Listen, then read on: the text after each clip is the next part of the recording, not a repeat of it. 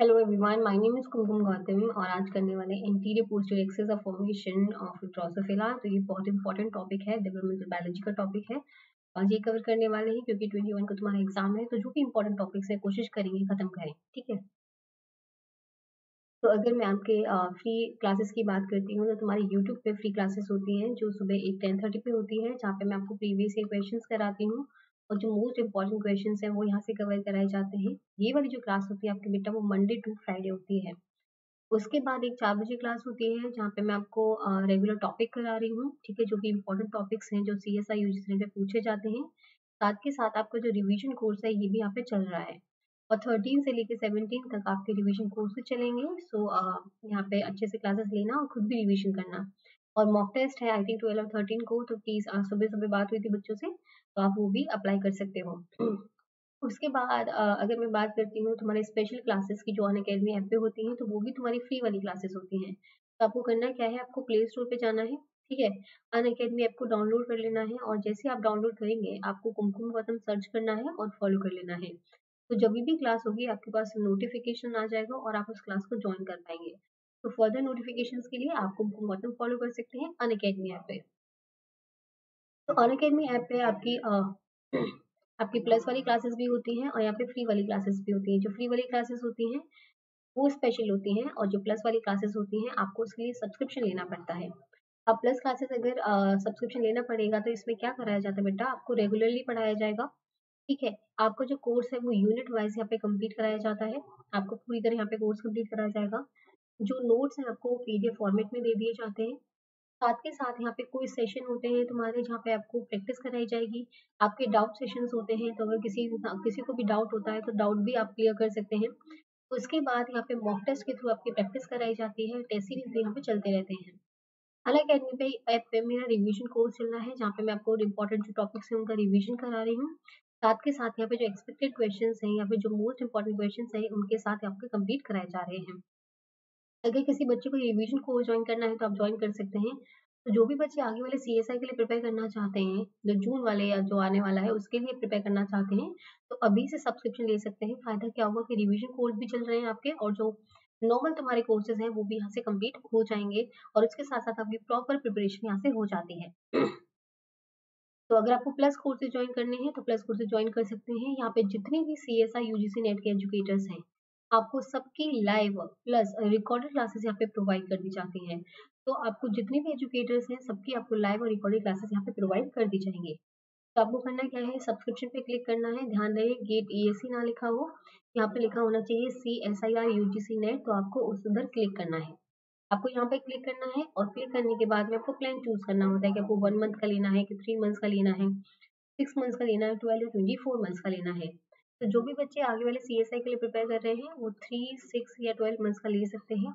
यहाँ से आपको काफ़ी फ़ायदा हो जाता है, आपको चीज़ समझ में आएँगी, आपको चीज़ें सॉल्व करनी आएँगी तो आप ये ले सकते हैं। यहाँ पे आप एक रेफिल कोड यूज़ कर सकते हो। वो जो रेफिल कोड है बेटा, वो है कुमकुम टेन ठीक है, कुमकुम टेन अप्लाई करते ही आपको टेन परसेंट ऑफ़ मिल जाता है। फिर आपको पेमेंट करना होता है, चाहे डेबिट कार्ड के थ्रू करो क्रेडिट कार्ड के थ्रू तो एक साल का जो पेमेंट है आपको अबाउट इतना करना होता है ten thousand three ninety five और ये आप ई e के थ्रू भी पे कर सकते हो, जहाँ पे नो कॉस्ट ई वाला ऑप्शन है मतलब कोई भी आपसे इंटरेस्ट नहीं लिया जाता है, आपको सिर्फ़ ये इंस्टॉलमेंट में पे करना होता है।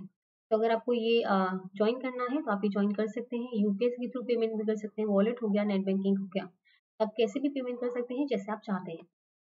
अनकेडमी ऐप पे अगर आपको जुड़ना है, चाहे स्पेशल क्लासेस के लिए जुड़ना है या फिर तुम्हारे प्लस क्लासेस के लिए जुड़ना है तो आपको ये प्ले स्टोर से पहले डाउनलोड करना पड़ेगा। उसके बाद आपको सब्सक्रिप्शन लेना पड़ेगा। यहाँ पे कुमकुम टेन कोड अप्लाई करना है जिसकी वजह से आपको टेन परसेंट ऑफ़ मिल जाता है। और मेरे कोर्सेज के साथ साथ जितने भी C S I UGC NET के एजुकेटर्स हैं, आपको सबके कोर्सेज सबकी लाइव प्लस रिकॉर्डेड क्लासेस यहाँ पे प्रोवाइड कर दी जाती हैं। तो किसी को ज्वाइन करना है तो ये आप ज्वाइन कर सकते हैं। चलो, आज हम ड्रोसोफिला का पढ़ने वाले हैं। Good evening Pratiksha, Pooja, Mukta Pooja good evening हाँ अब एलर्जी नहीं होगी। हाँ हाँ। चलो स्टार्ट करते हैं। तो ड्रोसोफिला को हम यहाँ पे यूज़ करने वाले हैं और ड्रोसोफिला पे ये पता चला था कि एक मॉडल ऑर्गेनिज्म की तरह काम करता है, क्योंकि इसमें बहुत सारी प्रॉपर्टीज़ होती हैं। किसी चीज़ की भी स्टडी करनी है तो ड्रोसोफिला का यूज़ किया जाता है। क्यों? एक तो शॉर्ट लाइफ स्पेन है, ज़्यादा लंबा नहीं जिएगा। थोड़ा सा लाइफ स्पेन है तो उसमें सारी सारी जो प्रॉपर्टीज़ है वो देखने को तुम्हें मिल जाती हैं एक पर्टिकुलर टाइम पीरियड में। मिनिमल कल्चरिंग रिक्वायरमेंट तो अगर इसको कल्चर भी किया जाता है लेबोरेटरी में तो ज़्यादा अमाउंट ऑफ़ रिक्वायरमेंट नहीं होती है इसकी। ज़्यादा तुम्हारा यू नो कल्चर करने के लिए बहुत महँगी महँगी चीज़ें या बहुत ज़्यादा चीज़ें नहीं चाहिए होती। बहुत सारी मिनिमल जो कल्चरिंग रिक्वायरमेंट्स है, वो इसकी होती हैं तो उसको ग्रो किया जा सकता है आसानी से। कोई भी प्रॉब्लम क्रिएट नहीं करेगा। उसके बाद जेनेटिक मैनिपुलेशन क्योंकि ये इंपॉर्टेंट है, क्योंकि हमें हर चीज़ में जेनेटिक मैनिपुलेशन करना होता है। तो जो ड्रोसोफिला है, उसका बहुत सिंपल सा जीनोम है। उसके फोर पेयर्स ऑफ़ क्रोमोसोम है, उसके पास में जबकि ह्यूमंस का देखा जाए तो ट्वेंटी थ्री पेयर्स है। तो फोर पेयर्स ऑफ़ क्रोमोसोम है तो ज़्यादा तुम्हारा यू नो कॉम्प्लेक्सिटी भी नहीं है। तो जेनेटिक मैनिपुलेशन करना बहुत ज़्यादा ईजी हो जाता है इस ऑर्गेनिज्म के साथ में। Drosophila has anatomical features such as wings and eyes which allow for easy characterization. तो, इसके पास विंग्स भी हैं इसके पास आईज भी हैं तो एनाटॉमिकल जो फीचर्स हैं बहुत इजीली तुम कैरेक्टराइज कर सकते हो। और अगर तुम्हें कोई भी जेनेटिक मार्कर्स है या फिर इसमें कोई भी कंपेयर जो चेंजेस आए हैं वो इजीली यहाँ पे देखे जा सकते हैं। तो इसके लिए हम ड्रोसोफिला को यूज़ करते हैं इस मॉडल ऑर्गेनिज्म तो ये तुम्हारा बेसिक है इसको ज़्यादा डीप में जाने की ज़रूरत नहीं है। ड्रोसोफिला को हम फ्रूट फ्लाइज भी बोलते हैं। अब यहाँ से क्वेश्चन जो होगा तुम्हारा, अगर मैंने एनिमल क्लासिफिकेशन पढ़ाया है, वहाँ पे तुम्हें ऑर्थोपोड्स पढ़ाया था ऑर्थोपोड्स में तुम्हारा एक इंसेक्ट वाला पार्ट था, जहाँ पे ट्रैकिया होता है मालफिजिन ट्रिब्यूट्स होते हैं तो ये वही है। अब ये जो फ्रूट फ्लाइज की बात करते हैं तो होलो मेटाबोलस होते हैं। होलो मेटाबोलस अगर यहाँ पे नहीं आएगा तो तुम्हारा जो यूनिट नाइन है, उसमें क्वेश्चन पूछा जाएगा तो इसमें थोड़ा डिस्कस कर लेते हैं उसके बारे में। देखो होलो मेटाबोलिस का मतलब होता है होलो का मतलब होता है कंप्लीट ठीक है? होलो का मतलब कंप्लीट होता है मेटाबोलस का मतलब होता है मेटामोफोसिस तो जो फ्रूट फ्लाइज होती हैं, इसमें कंप्लीट मेटामोफोसिस होती है। अब मेटामोफोसिस क्या होती है बेटा? जो चेंज होते हैं तुम्हारे एक डेवलपमेंटल पीरियड में, जब कोई एग प्रोड्यूस होता है और एडल्ट को बनने में जो चेंजेस आते हैं बीच में, उसको मेटामोफोसिस बोला जाता है। इस कंडीशन में क्या होता है कि पहले तुम्हारा एग बनता है। एग आएगा एग से तुम्हारा लावा का फॉर्मेशन होगा और लावा के बाद तुम्हारा प्यूपा बनता है, ठीक है? और प्यूपा के बाद तुम्हारा इमेगो या फिर एडल्ट जिसे बोला जाता है, यहाँ पे उसका फॉर्मेशन होता है। तो एक पर्टिकुलर मेटामोफोसिस होती है पर्टिकुलर मेटामोफोलिकल चेंजेस आते हैं, उसके बाद तुम्हारा एग से एडल्ट का फॉर्मेशन हो पाता है। तो जहाँ पे भी लावा प्यूपा वाली स्टेज आ जाती है, वहाँ पे बोला जाता है कि यहाँ पे कंप्लीट मेटामोफोसिस हुआ है इनकम्प्लीट मेटामोफोसिस नहीं हुआ है। तो फ्रूट फ्लाइज का याद रखना है होलो मेटाबोलिस होंगे, यहाँ से इंपॉर्टेंट है, कभी क्वेश्चन तुम्हारे इंसेक्ट वाले में ज्वाइन करके पूछा जाता है, ठीक है? तो यहाँ पे एग स्टेज हो गई तुम्हारी, यहाँ पे लावल स्टेज हो गई, यहाँ पे प्यूपल स्टेज हो गई और इमेगो स्टेज हो गई, जिसे एडल्ट स्टेज भी बोला जाता है तो इसको ध्यान में रखना है। फिर आते हैं process of the development in the drosophila अगले प्रोसेस की बात करते हैं तो नॉर्मली तुम्हें पता होगा कि ये तुम्हारा स्पर्म हो गया, ठीक है? ये तुम्हारा एग हो गया। आपस में पहले फर्टिलाइज करना पड़ेगा जैसे फर्टिलाइजेशन वाला प्रोसेस हो जाएगा, तुम्हारा जाइगोट का फॉर्मेशन हो जाता है। अब जाइगोट जो होता है, उसकी डिप्लॉयड नेचर का होता है मतलब जो उसकी प्लॉयडी होती है, वो डिप्लॉयड नेचर की होती है। लेकिन वो एक ही सेल होता है बेटा, ठीक है, एक सेल होता है। अब तुम्हें क्या बनाना है? पूरा ऑर्गेनिज्म बनाना है तो ऑर्गेनिज्म तो मल्टी सेलुलर चाहिए। तो यहाँ पे क्या होता है? तुम्हारा क्या होगा? क्लीवेज होगा उसके लिए, ठीक है क्लीवेज होगा। और यहाँ पे जो क्लीवेज होता है बेटा, वो कौन सा होता है? सुपरफिशियल क्लीवेज होता है। ये आई थिंक पता होगा तुम लोगों को जितने भी तुम्हारे इंसेक्ट्स होते हैं, उसमें क्या होता है तुम्हारा जो अमाउंट ऑफ़ यूक है बेटा, वो बहुत ज़्यादा होता है। ठीक है अमाउंट ऑफ़ यूक ज़्यादा होता है और एक पर्टिकुलर एरिया में ज़्यादा होने वाला है। तो यहाँ पे जो होगा सुपरफिशियल क्लीवेज होगा और तुम्हारा सिंचियल या फिर सिंटियल जो भी तुम बोलते हो, वो तुम्हारे यहाँ पे क्या होता है क्लीवेज होता है। यहाँ पे तुम्हारा एंडोस जो सॉरी जो फॉर्मेशन होता है, वो तुम्हारा पेरीफरी रीजन पे बहुत सारे न्यूक्लियर का डिवीज़न होता है तो यहाँ पे ये वाला डिवीज़न होने वाला है क्लीवेज होने वाला है, ये हम पूरा डिस्कस करेंगे डिटेल में। उसके बाद गैस्कुलेशन होता है तुम्हारे यहाँ पे क्या होगा? जॉमलेयर्स का फॉर्मेशन होगा एक्टोडम एंडोडम मीजोडम उसके बाद डिफरेंट डिफरेंट जो बॉडी पार्ट्स है वो बनाए जाएँगे। उसके बाद तुम्हारा anterior and posterior axis formation ये इंपॉर्टेंट है, आज हम ये पढ़ने वाले हैं।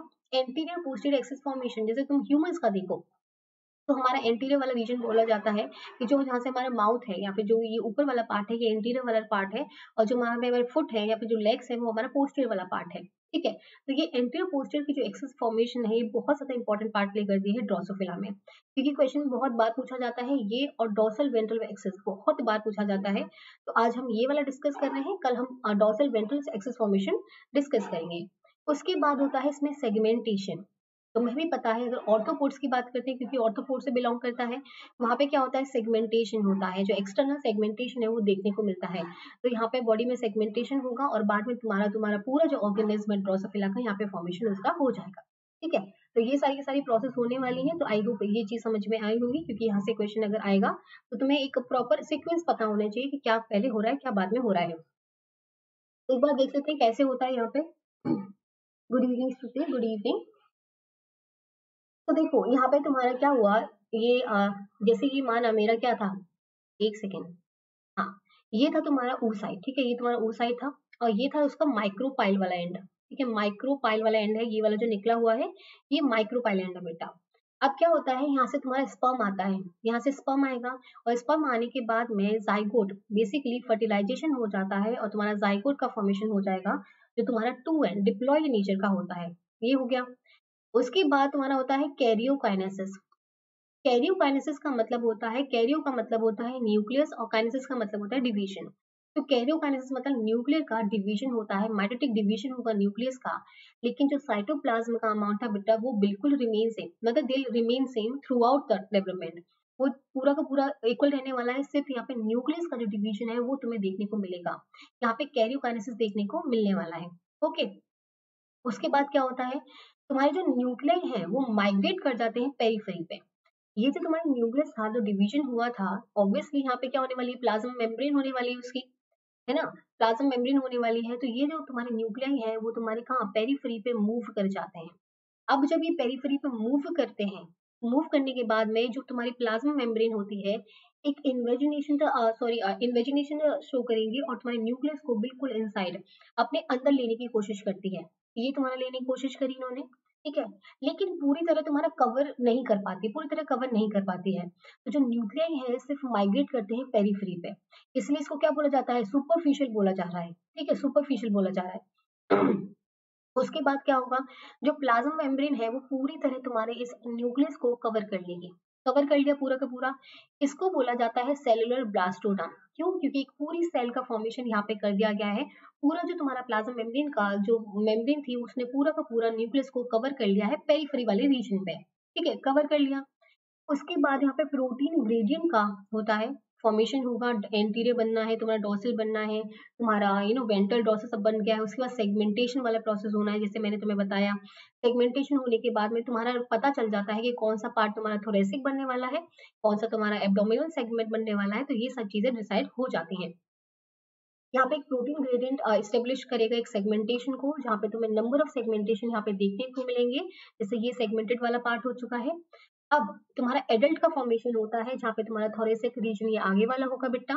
ये आगे वाला जो रीजन जो होगा हेड वाला रीजन होने वाला है। यहाँ पे एब्डोमिनल सेगमेंट्स होगा और ये एडल्ट के तुम्हारे विंग्स हो जाते हैं। ये एडल्ट के हो जाते हैं विंग्स हो जाते हैं। तो ये जो फॉर्मेशन होता है, तुम्हारा स्टार्टिंग से लेके एंड तक यहाँ पे ये होने वाला है। तो ये नॉर्मल प्रोसेस है तुम्हारे चलने वाला है। तो एक बार हम देखेंगे कि क्या होने वाला है। आई होप ये चीज़ समझ में आई होगी। यहाँ से अगर कभी क्वेश्चन आएगा तो। तो अगर फर्टिलाइजेशन ड्रोसोफिला की बात करते हैं गुड इवनिंग से गुड इवनिंग अगर किसी को कुछ भी समझ में नहीं आता है तो मुझे बोल देना, मैम रिपीट कर दो, मैं रिपीट कर दूँगी। फर्टिलाइजेशन अगर ड्रोसोफिला की बात करते हैं तो मैंने बताया कि स्पम जो है तुम्हारा माइक्रोपाइल एंड के थ्रू कहाँ पे आता है? तुम्हारे एग के पास में आएगा और फ्यूज कर जाएगा। तो fertilisation of the drosophila can only occur in the region of the oocyte that will become the interior of the embryo at the micropyle end. तो हमेशा याद रखना है, जो तुम्हारी एंट्री मारेगा स्पम वो माइक्रोपाइल एंड से ही मारने वाला है, जहाँ से तुम्हारा जो फॉर्मेशन है, जो माइक्रोपाइल एंड है, वो लास्ट में तुम्हारा एंटीरियर जो एक्सेस है, वो बनाने वाला है। ठीक है? वहाँ से तुम्हारा एंट्री मारता है, ये याद रखना है, कभी क्वेश्चन में आए तो। ठीक है? फिर आते हैं सुपरफिशियल क्लीवेज पे। अब सुपरफिशियल क्लीवेज तो बहुत ज़्यादा इंपॉर्टेंट है।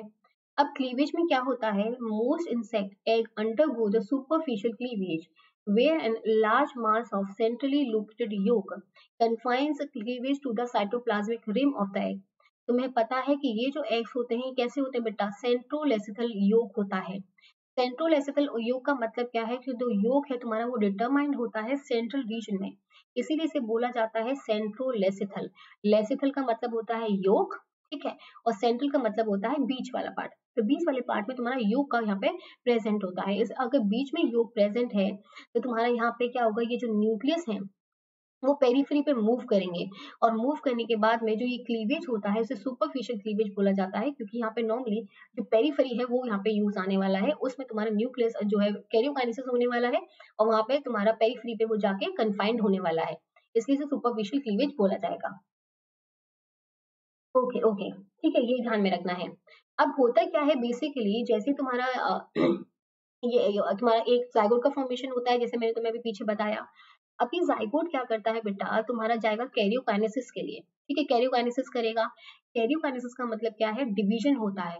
और एट मिनट में एक बार you know eight nuclear division हो जाते हैं एट मिनट ईच टाइम लेगा।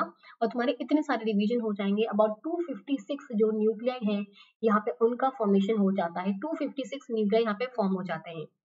उसके बाद क्या होगा, तुम्हारे बीच में बहुत सारे न्यूक्लियर फॉर्म हो गए। जैसे तुम्हें देखने को मैंने यहाँ पे बताया था कितने सारे न्यूक्लियर पे फॉर्म हो चुके हैं। तो मान लो 256 यहाँ पे फॉर्म हो चुके हैं, ठीक है? उसके बाद ये जो न्यूक्लियर है, वो माइग्रेट करेंगे पेरीफ्री की ओर। तो वो जो न्यूक्लियर है पेरीफ्री की ओर माइग्रेट करना स्टार्ट कर देते हैं। लेकिन माइटोसिस जो है कंटिन्यू चल रही है। अभी भी तुम्हारी माइटोसिस चल रही है, रुकी नहीं है, लेकिन वो पेरीफ्री पे मूव करना स्टार्ट कर देते हैं, क्योंकि बीच में योग आ चुका है तो बहुत सा डिस्टर्ब करा होता है। तो वो पेरीफ्री की ओर मूव करना स्टार्ट कर देते हैं। अब, most of other nuclei arrive at the periphery of the embryo at the cycle time. तो नॉर्मली एट साइकिल पे तुम्हारे 256 थे और वो पेरीफरी पे भी पहुँच रहे थे और तो माइटोसिस तो कंटिन्यू चल रहा था। तो और भी डिवीज़न होते, होने लगते हैं, लेकिन थोड़ा स्लो रेट में हो जाते हैं क्योंकि ऑलरेडी बहुत डिवाइड हो चुका है तो इतना तो डिवीज़न नहीं करना था। तो टेंथ साइकिल के बाद में थोड़ा स्लोअर डिवीज़न रेट हो जाता है। अब, जैसे ही न्यूक्लियर डिवीज़न हो जाते हैं, तुम्हारी जो एम्ब्रियो है, एक सिंसिटियल जो ब्लास्टोटम है उसका फॉर्मेशन होता है। मतलब क्या हुआ तुम्हारा? ये जो प्लाज्म मेम्ब्रेन मैंने तुम्हें बताया था कि जो न्यूक्लियस पेरीफेरी पे पहुँच गए प्लाज्म मेम्ब्रेन को मिलता है मौका बिट्टा। उसको मौका मिलता है, वो क्या करता है? इसको कवर करने की पूरी पूरी कोशिश कर लेता है। एक यहाँ पे तुम्हारी ब्लास्टोडम का सीक्रेशन कर देगा और क्या कर देगा? उनको कवर करने की कोशिश करेगा। ठीक है? इसे बोला जाता है सिंथिटियल ब्लास्टोडम इसने कवर करने की कोशिश करी।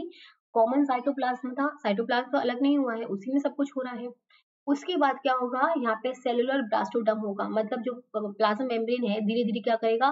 पूरा का पूरा इसको कवर कर लेगा बेटा। पूरा का पूरा कवर कर लेगा और सेलुलर ब्लास्टोडम का यहाँ पे फॉर्मेशन कर दिया जाता है।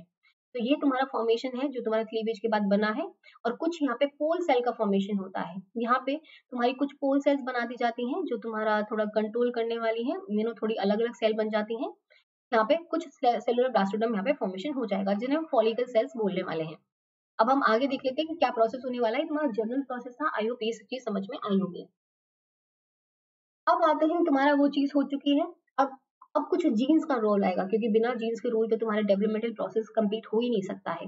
तुम्हारा सेलुलर ब्लास्टोडम बन गया है। तुम्हारा ये सब चीज़ें फॉर्मेशन हो चुका है। अब जीन्स का रोल आता है। जीन्स में जो रोल आता है, वो तुम्हारे मेटरनल जीन्स का बेसिकली एंटीरियर पोस्टीरियर एक्सेस के लिए मेटरनल जीन्स का रोल आने वाला है। उसके बाद तुम्हारे सेगमेंटेशन जीन्स का रोल आएगा। फिर तुम्हारे गैप जीन्स का रूल आएगा, फिर पेयर रूल जीन्स आएँगे, फिर तुम्हारे सेगमेंट पोलैरिटी जीन्स आएँगे और तुम्हारे होमेटिक जीन्स यहाँ पे आने वाले हैं, ठीक है? तो बेसिकली तुम्हें याद क्या रखना है, पहले मेटरनल मम्मा ने क्या बोला, मम्मा ने थोड़ा गैप लिया, ठीक है, थोड़ा गैप लिया, इसको याद रखना मेटरनल के बाद गैप गैप लिया, थोड़ा गैप लेने के बाद में, थोड़ा सोच के समझने के बाद में उन्होंने एक रूल बनाया, एक पेयर रूल बनाया, उन्होंने बोला कि सेगमेंट पोलैरिटी होनी चाहिए। तुम लोगों में सबको सेगमेंट पोलैरिटी होनी चाहिए और बाद में तुम्हारा होम जो है, जो होम है, वो अच्छे से समझ जाएगा। तो मम्मा ने एक रूल एक पहले गैप लिया फिर एक रूल बनाया। रूल बनाने के बाद उन्होंने बोला कि सेगमेंट होना चाहिए पूरे घर में और उसके बाद जो तुम्हारा होम है वो पूरा अच्छे से सेलेक्ट हो जाएगा। तो होम्योटिक सेलेक्टर जीन सबसे लास्ट में आएँगे, उसके बाद सेगमेंटल पोलरिटी जीन्स तो ये सीक्वेंस याद रखना क्वेश्चन में आया हुआ है एक बार तो ध्यान रखना इस चीज़ को। अब ये कुछ जीन्स है, मैं कुछ खुद को हाइड कर रही हूँ क्योंकि यहाँ से देखिएगा नहीं। यहाँ पे कुछ जीन्स हैं जो तुम्हें पता होने चाहिए। अभी हम सिर्फ़ मेटरनल जीन्स पे बात करने वाले हैं तो आगे वाले जीन्स जो है गैप जीन्स हो गया तुम्हारा पेयर रूल जीन्स हो गया सेगमेंट पोलैरिटी जीन्स हो गए, ये हम बाद में करेंगे। जब हम पूरा का पूरा पढ़ेंगे तो वहाँ पे डिस्कस करेंगे। फ़िलहाल तुम एक बार ये टेबल याद रखना, क्योंकि यहाँ से क्वेश्चन कभी आए तो। आते हैं नॉर्मली लेकिन अभी हम सिर्फ़ मेटरनल जीन्स पे बात करने वाले हैं। तो अगर मेटरनल जीन्स की बात करती हूँ तो यहाँ पे होता है तुम्हारा bicoid very important nanos caudal and hunchback तो ये इंपॉर्टेंट मेटरनल जीन्स है, ये ध्यान में रखने हैं।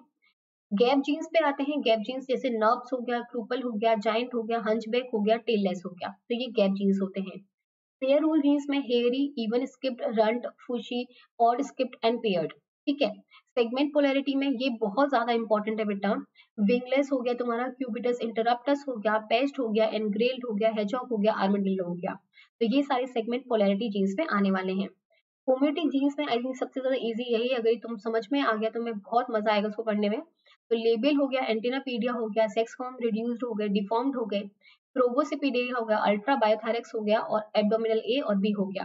तो ये हम सब बाद में पढ़ेंगे, चारों के चारे जीन्स का जो पूरा डिस्क्रिप्शन आज हम मेटरनल जीन्स पे बात करने वाले हैं। अब, याद रखना है, ये जो मेटरनल जीन्स है बेटा, वो तुम्हारे ओ साइड ठीक है? बिफोर फर्टिलाइजेशन क्योंकि मेटरनल जीन्स है, माँ के जीन्स है तो ऑलरेडी तुम्हारे ओ साइड में प्रेजेंट होने वाले हैं। फर्टिलाइजेशन से जो फर्टिलाइजेशन होता है, उससे पहले तुम्हारे ओ साइड में प्रेजेंट होते हैं। तो इसको ध्यान में रखना है। अब एक बार ये चीज़ देख लेते हैं कि क्या होता है तुम्हारा। तुम्हारा साइटोप्लाज्मिक पोलैरिटी बनेगी, जहाँ पे एंटी एक्सिस बनेगा पोस्टर एक्सिस का फॉर्मेशन हो जाएगा तो मेटरनल जीन है वो अपना इफ़ेक्ट शो करेंगे। उसके बाद हंचबैक प्रोटीन ग्रेडियंट यहाँ पे फॉर्म होता है। फिर तुम्हारे गैप जीन्स आते हैं, वो क्या करते हैं? एक तुम्हारा गैप का फॉर्मेशन करते हैं अलग अलग यहाँ पे थोड़ा सेगमेंटेशन दिखता नहीं है प्रॉपरली लेकिन हाँ थोड़ा बहुत दिख जाता है अलग अलग ग्रेडियंट का फॉर्मेशन हो जाता है। फिर पेयर रूल जीन्स आते हैं। यहाँ पे तुम्हारे ये सेगमेंटेशन का फॉर्मेशन हो जाएगा पेयर रूल जीन्स के बाद। उसके बाद सेगमेंट पोलैरिटी जीन्स आएँगे, जो पूरा का पूरा यहाँ पे सेगमेंटेशन पोलैरिटी जीन्स का मतलब पूरा यहाँ पे सेगमेंटेशन फॉर्मेशन कर दिया जाएगा। थॉरिक्स कौन सा है एब्डोमेन कौन सा है हेड कौन सा है? और होम्योटिक जीन्स आके पूरा का पूरा उसको संभाल लेंगे। उसको बता देंगे कहाँ विंग्स फॉर्मेशन होना है, कहाँ तुम्हारा क्या क्या फॉर्मेशन होना है। तो ये तुम्हारा सारा का सारा वही था जीन्स थे तो एक बार ये देख लेना और इससे ज़्यादा इसमें अभी, क्योंकि लास्ट में जब पढ़ते जाएँगे ना, तब तुम्हें चीज़ समझ में आती जाएँगी। Now, the anterior, posterior and the dorsal ventral axis of the Drosophila form at the right angle to one another and they are both determined by the position of the oocyte within the follicle cells of the ovary. तो basically अगर मैं बात करती हूँ तो इसमें क्या होता है ये तुम्हारी फॉलिकल सेल्स होती हैं ठीक है ये तुम्हारी फॉलिकल सेल्स होती हैं और यहाँ पे होता है तुम्हारा oocyte ठीक है यहाँ पे होता है oocyte तो ये जो ओसाइट है, ये इसकी पोजीशन जो है डिटरमाइन करती है कि तुम्हारा एंटीरियर पोस्टीरियर एक्सेस कहाँ पे होने वाला है और तुम्हारा डॉर्सल और ग्वेंटल कहाँ पे होने वाला है। तो ये बहुत ज़्यादा इंपॉर्टेंट पार्ट प्ले करता है क्योंकि इसी के कुछ जीन्स हैं, जो एमआरएनए हैं, वो रिस्पॉन्सिबल होते हैं पोजिशन के लिए एंटीरियर पोस्टीरियर को डिटरमाइन करने के लिए। अब दो मेटरनल एम हैं, जिसमें एक होता है बाइकॉइड और एक होता है नैनोज अब हम मेन स्टार्ट कर देते हैं तुम्हारा एंटीरियर पोस्टीरियर एक्सेस ये तुम्हारा सारा का सारा जनरल हो चुका था। अब तुम्हारे मेन चीज़ पे आ जाते हैं। अब इसको मैं तुम्हें पहले बाइकॉट का बता रही हूँ नैनो उसका इसी से समझा दूँगी, ठीक है? आई होप ये दिख रहा होगा तुम लोगों को बहुत अच्छे से। देखो, क्या होता है, अगर मैं इसकी बात करती हूँ तो ये वाला रीजन जो होता है बेटा, ये होता है तुम्हारा ओ साइड ठीक है? ये ओ साइड होता है। यहाँ पे बहुत सारी तुम्हारी फॉलिकल सेल्स प्रेजेंट होती हैं, ठीक है? यहाँ पे तुम्हारी बहुत सारी फॉलिकल सेल्स प्रेजेंट होती हैं। ये जो ब्लू कलर की दिख रही है बेटा, ये नर्स सेल्स हैं। नर्स सेल्स क्या करती हैं? Basically you know nutrition provide करती हैं। जो तुम्हारा ग्रोइंग फॉलिकल सेल्स हैं, जो तुम्हारा ग्रोइंग एम्ब्रियो है, उसको क्या प्रोवाइड करती है? न्यूट्रिशन यहाँ पे प्रोवाइड करती हैं। यहाँ पे ओसाइड वाले रीजन में तुम्हारा बाइकॉड एमआरएनए प्रेजेंट होता है। बाइकॉड एमआरएनए प्रेजेंट होगा। और इन नर्व सेल्स के ऊपर, देखो यहाँ पे, अगर मैं जहाँ पे बना रही हूँ, यहाँ पे क्या प्रेजेंट होता है? तुम्हारा नैनोज प्रेजेंट होता है। तो जैसे मैंने बताया, ये दोनों के दोनों मेटरनल जीन्स हैं। मेटरनल जीन्स बेसिकली जब तुम्हारे फर्टिलाइजेशन से पहले भी तुम्हारा मेटरनल जो जीन्स है, जैसे नेनोज जीन हो गया बाइकोट जीन हो गया, दोनों के दोनों प्रेजेंट होते हैं। लेकिन, जैसे ही तुम्हारा फर्टिलाइजेशन होता है, ये जो बाइकोट एमआरएनए है, पहले कहा था बेटा? ये पोस्टीरियर पोजीशन पे था। पोस्टीरियर पोजीशन पे था, लेकिन जैसे तुम्हारा फर्टिलाइजेशन होता है, जो एमआरएनए बेसिकली इसका फॉर्म होता है, जैसे ट्रांसक्रिप्शन होगा, ये तुम्हारा एंटीरियर पोजीशन पे चला जाता है। बाइकॉइड पहले तुम्हारा बनता पोस्टीरियर में है, लेकिन उसकी जो जगह होती है वो एंटीरियर वाली होती है तो वो एंटीरियर में पाने जा पाए जाने वाला है। ये याद रखना है, जो उसकी प्रोटीन होगा, वो तुम्हारे एंटीरियर में मिलने वाला है, जो एमआरएनए होगा, वो भी एंटीरियर में यहाँ पे मिलने वाला है।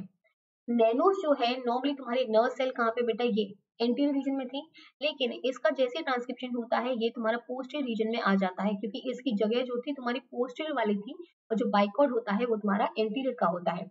तो याद रखना है, बाइकोट जो है तुम्हारा एंटीरियर रीजन पे पाया जाएगा और जो तुम्हारा नैनोज है वो तुम्हारा पोस्टर रीजन पे पाया जाएगा। ये दो चीज़ें इंपॉर्टेंट है, ध्यान में रखना है। ओवेरियन नर्स सेल्स ये जो नर्स सेल्स हैं बेटा, ये क्या करती हैं, तुम्हारी यहाँ पे जो ऊ साइड वाला रीजन है, वहाँ पे तुम्हारा बाइकोट एमआरएन का फॉर्मेशन होता है। जो क्या करेगा, तुम्हारे पोस्टीरियर जो फॉलिकल सेल्स है, उनके साथ इंटरेक्ट करेगा, यहाँ पे जो पोस्टर फॉलिकल सेल्स है, उनके साथ इंटरेक्ट करेगा। और वो बाद में जो बाइकोड एमआरएनए है, वो तुम्हारे एंटीरियर पोर्शन पे, ये जो एंटीरियर पोर्शन है, वहाँ पे लोकलाइज्ड हो जाता है। बाइकोड एमआरएनए जो है एंटीरियर पोर्शन पे लोकलाइज्ड हो जाएगा। वैसे ही तुम्हारा नैनोस क्या होगा, जो पोस्टर जो लोकेशन है, वहाँ पे तुम्हारा वो लोकलाइज हो जाएगा। नैनोस की अगर बात करी जाएगी और बाइकोट की अगर बात करी जाएगी तो वो एंटीरियर पोर्शन पे चला जाएगा। तो इससे पता चल जाएगा कि एंटीरियर पोर्शन तो ये वाला होगा और ये वाला तुम्हारा क्या होने वाला है? पोस्टीरियर पोर्शन यहाँ पे होने वाला है। उसके बाद क्या होगा तुम्हारा? बाइकर्ड एमआरएनए ट्रांसलेटेड उसका ट्रांसलेशन होगा और तुम्हारा प्रोटोन ग्रेडियंट का फॉर्मेशन होता है। प्रोटोन ग्रेडियंट का मतलब यहाँ पे तुम्हारा ट्रांसलेशन होगा, न्यूक्लियस का यहाँ पे पूरा फॉर्मेशन होगा और एक ग्रेडियंट का फॉर्मेशन होता है, जहाँ पे तुम्हारा जो बाइकोड है वो डिटरमाइन करने वाला है कि ये तुम्हारा पोलैरिटी जो होने वाली एंटीरियर वाले की होने वाली है और जो दूसरी वाली होने वाली है वो पोस्टेड की होने वाली है। अब, ये जो तुम्हारा बाइकोड आया है और तुम्हारा नैनोज आया है, अब ये क्या डिटरमाइन करते हैं? एक बार हम यहाँ से देख लेते हैं क्योंकि ये थोड़ा बहुत तुम्हें समझ में नहीं आएगा, पहले वो देख लेते हैं कि क्या काम करते हैं। अगर हमारे बात करी जाएगी, अगर मैं बात करी जाएगी, क्योंकि जो बाइकआउट होता है, एक मॉर्फोजन होता है बेटा। मॉर्फोजन का मतलब क्या होता है कि उसकी कॉन्सेंट्रेशन पर डिपेंड करने वाला है कि वहाँ पे कौन सी जो चीज़ें एक्सप्रेस होने वाली है कौन सी एक्सप्रेस नहीं होने वाली है। तो जो बाइकॉट जो है, उसका कॉन्सेंट्रेशन एंटीरियर रीजन पे बहुत ज़्यादा होती है, बहुत ज़्यादा होती है। तो ये डिटरमाइन करेगा कि एंटीरियर पोर्शन पे अगर बाइकॉट ज़्यादा है तो मतलब वो एंटीरियर पोर्शन है और वो पोस्टिव पोर्शन को मतलब वहाँ पे कम होगा, इसका जो ग्रेडियंट होगा बहुत कम होने वाला है। जबकि अगर मैं बात करती हूँ नैनोस की, जो बिल्कुल उल्टा था, जैसे ये माना मेरा एक तुम्हारा ओसाइट हो गया, यहाँ पे अगर ग्रेडियंट ज़्यादा है बाइकॉइड का, अगर बाइकॉइड का ज़्यादा है तो ये एंटीरियर पोर्शन हो जाएगा और अगर तुम्हारा नैनोस का यहाँ पे ग्रेडियंट ज़्यादा है तो ये तुम्हारा हो जाएगा पोस्टीरियर रीजन ठीक है, ये दो चीज़ें याद रखनी है फ़िलहाल में, क्योंकि ये इंपॉर्टेंट है। अब हम ग्राफ के थ्रू समझ लेते हैं एक बार तो तुम्हें समझ में आ जाएगा। इनिशियली क्या होता है? फर्टिलाइजेशन पहले, पहले क्या होगा जब तुम्हारा ऊसाइट एमआरएनए होता है। तुम्हारे एंटीरियर पोर्शन पे जो होता है बाइकॉड एमआरएनए का जो कॉन्सेंट्रेशन होता है बेटा यहाँ पे कॉन्सेंट्रेशन लिखा हुआ है। ये जो कॉन्सेंट्रेशन होता है बाइकॉड एमआरएनए का वो बहुत ज़्यादा होता है एंटीरियर पोर्शन पे। अगर मैं आती हूँ नैनोस पे तो पोस्टर रीजन पे तुम्हारा क्या होता है? यहाँ पे नैनोस का ज़्यादा होने वाला है।